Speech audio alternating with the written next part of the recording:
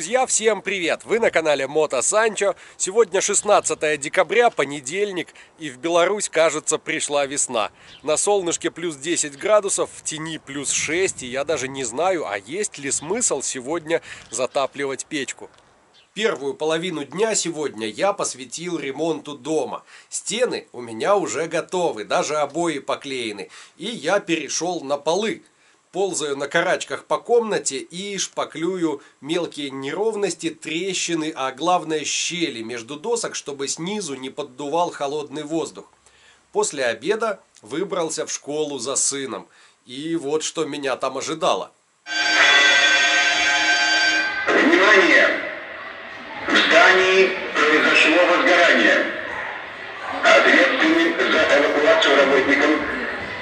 Немедленно прибыть на свои посты и организовать выход людей в безопасные места согласно плана эвакуации. А остальному персоналу без паники покинуть здание.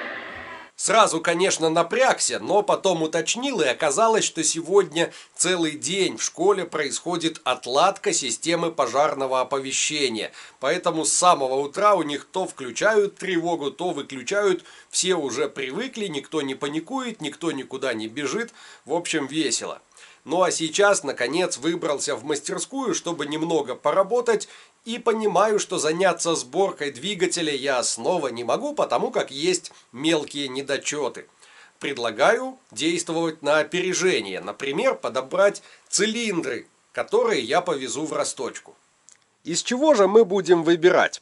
Есть у меня некоторое количество условно пригодных к расточке цилиндров я сразу отсеял те, которые имели множественные сколы ребер, сколы на гильзе и сорванную резьбу под шпильки. Очень удивился, но оказывается такая неисправность тоже встречается. Осталось в итоге 5. Из этих пяти два очень даже неплохие. Свеженькие, чистенькие, видно, что поработали немного – Гильза в отличном состоянии, глубоких задиров и царапин не имеет. Это у нас цилиндры нового образца. И еще три разной степени ушатанности, грязные, забитые песком и мелкими камушками. И вот здесь, если посмотрим на гильзу, да, это уже не зеркало. Есть раковины, есть царапины. Причем раковины вызваны не работой, а длительным простоем. Попадала внутрь влага и образовывалась на стеночках ржавчина, которая и оставила такие следы. Это цилиндры старого образца. Как я их отличаю? Все очень просто. Если посмотрим на цилиндр со стороны головки, то видим, что на новых есть два скоса. Это связано с установкой головок нового образца. На них ведь есть прилив под горизонтальное расположение фланца карбюратора. И если мы попробуем эту же головку поставить на старый цилиндр, то она упрется либо приливом выхлопа, либо приливом карбюратора и прилегания, соответственно, не будет. Но это не беда.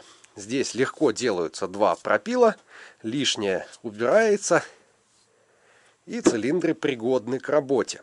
Вот из них, из этих трех, я и буду выбирать. Потому что эти, ну, честно, с 78 диаметра до 79 жалко мне пилить они еще вполне могут поработать и со стандартными ураловскими поршнями. Значит, эти два мы пока убираем на полку. Но не просто убираем, а предварительно смазав. Будет обидно, если в процессе хранения гильзы начнут покрываться ржавчиной.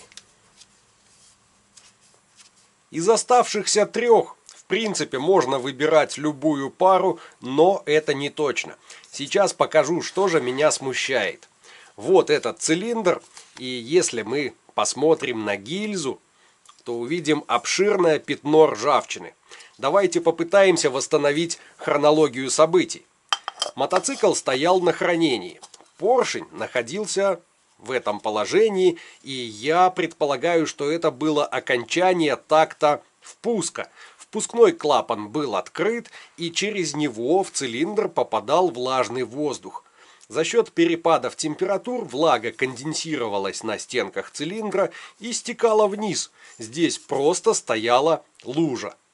Казалось бы, ну что страшного, нам ведь все равно его отправлять в расточку. Однако есть здесь несколько очень глубоких раковин ржавчины. Измерение гильзы в горизонтальной плоскости, то есть на неповрежденных участках, дало мне результат 78,24 мм. А вот в вертикальной плоскости, там где расположены самые глубокие раковины, получилось 79 мм, то есть ржавчина сожрала у нас практически миллиметр металла. И этот цилиндр в расточку уже не годится, ведь с каждой стороны у нас будет сниматься по 5 десяток, а значит пятно это уменьшится, но полностью так и не уйдет. Этот цилиндр тоже отправляем в выбраковку. Оставшиеся два цилиндра меня вполне устраивают. Надо только выбить из них трубки кожухов штанг механизма ГРМ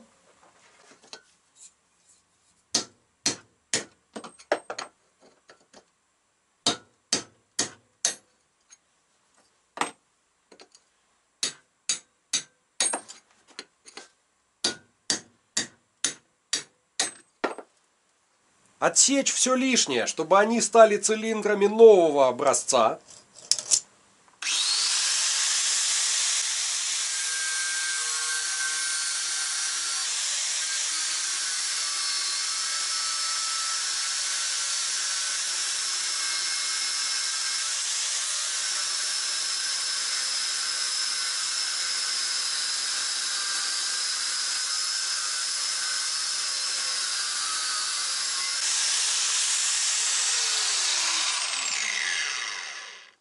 Я думаю, мы не слишком сильно ухудшили условия охлаждения. Остается эти цилиндры только почистить и помыть. И здесь снова засада. У меня в ожидании мойки уже лежит редуктор, стоят два картера, а как выяснилось, мыть-то их нечем. Бензина в мастерской нет.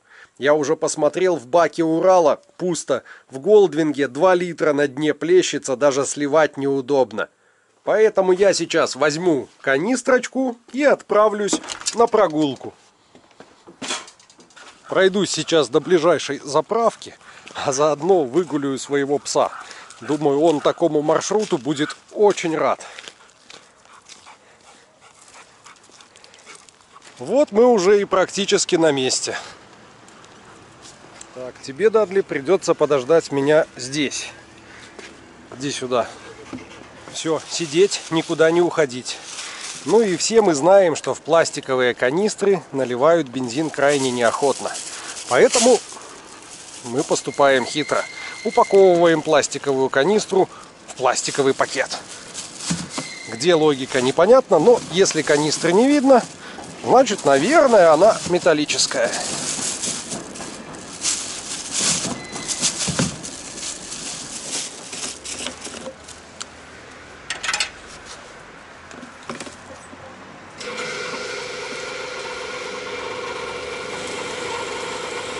Ну вот, наш лайфхак вполне себе работоспособен. Естественно, при отсутствии заправщиков. Когда один оператор сидит за кассой, ему там совершенно не видно, что и во что ты набираешь. Вот так мы и добрались домой. Я тащил канистру, а Дадли тащил меня. Я заправил не полную, а взял 8 литров, чтобы наверняка в 10-литровую влезло. Можем даже проверить точность белорусских заправок. По-моему, тут чуть-чуть больше 8 литров будет. Ну, будет видно, когда уровень успокоится. На сегодня, пожалуй, все. Я отправляюсь отдыхать, а вам желаю хорошего вечера или удачного дня. Все зависит от того, когда же вы это видео смотрите. Всем спасибо, всем счастливо и всем пока.